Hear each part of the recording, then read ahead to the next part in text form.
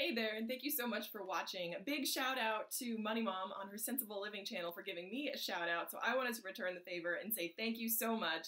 I really appreciate it. And if you haven't already checked out her channel, you should definitely do that. I will put the link in the description box below. But she really liked my organized Christmas countdown, and I really like that she liked that. And I'm hoping that that will be helpful to more people because I know that it was super helpful for me in all areas, like mentally, budget wise, spiritually, like, and it just it's a great way to make the holidays a little bit more peaceful.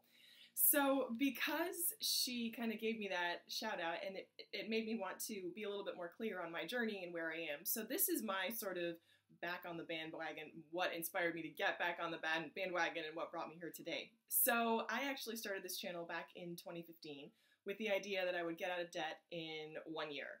I had $20,000 of student loan debt, and I thought that if I really put my mind to it, I could totally get out of debt because at the time my housing costs were super low and my income was it was low but it was like manageable. I could think that if I if I put aside maybe 2000 a month and just threw it at the debt, I could totally do it.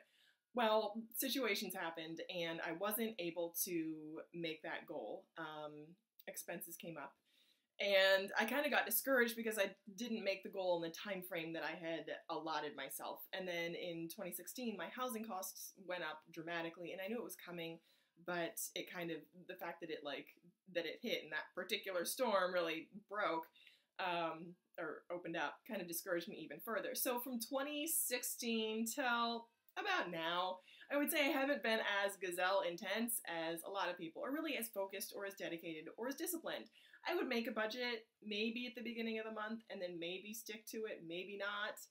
So I really haven't been the most dedicated to the process. So what's changed? Recently, I just started making videos again, and I thought to myself, there's no excuse for this. Well, two things. So I tend to be either super hard on myself or completely um, like permissive.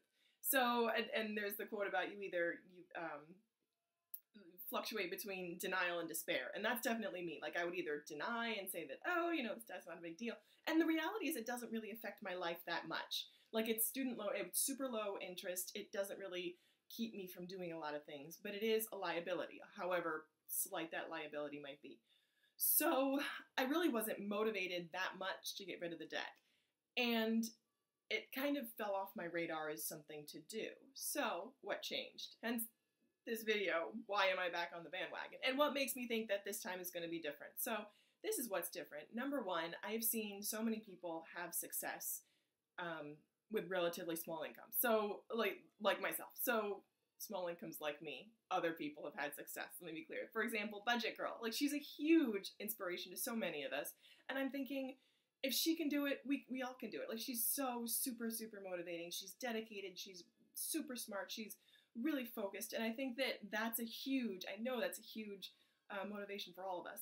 But also, what really, so she made me believe that it was possible. But, and what personally touched me was the fact that how I manage my money doesn't only affect me, it affects the health of relationships, it affects family, it affects your being able to care for other people, it affects quality of life for other people. And that was a huge wake up call to me that I'm not just living for myself. There are other people that are affected by my choices. So while that can be kind of a little bit daunting, it's also kind of, I guess, inspiring that it's not just about you. So that's, I don't know if that's super vague or if that's that's helpful, but I hope this kind of gives you a background to where I am. I've been at this for a while. It's it's not an overnight process. It's not um, it didn't happen in the time frame that I wanted, but it's I'm confident that it's, it's going to happen. I am going to get out of debt and I am going to live a financially prosperous future because that's the choice that I'm making now. And I'm making a commitment to that process. it's kind of it's kind of like a, a, a let's say a random but kind of a spur of the moment video. So that's what I'm here to say and give you a little bit more background on who I am and what I'm doing. Um, I'm a 30 something professional. I live in the Northeast. I'm single, um, and my mom and I are roommates.